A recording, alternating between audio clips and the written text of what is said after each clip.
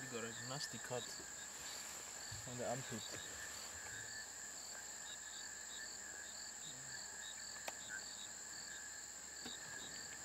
And he's not hungry.